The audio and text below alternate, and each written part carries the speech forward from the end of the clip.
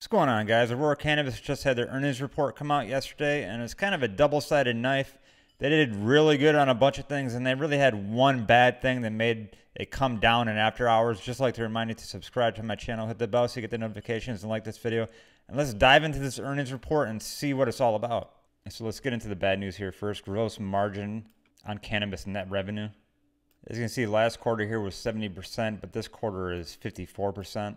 So this is why the stock is dropping in after hours right now. And this is due to the price of marijuana going down and the taxes are also eating them up right now. So that was pretty much the only bad thing about this earnings report. Let's get into the good stuff here, which there's plenty of it. Cash cost of sales per gram produced. As you can see, it is up since the last quarter here.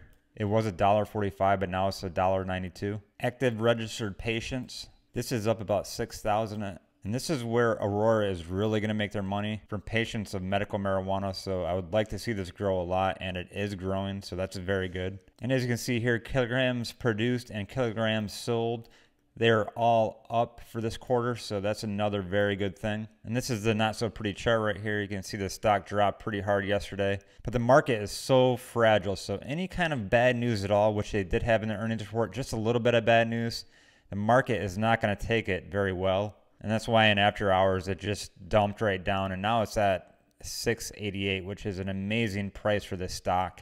I'm going to go ahead and lower my average on this because this downtrend is not going to happen very long.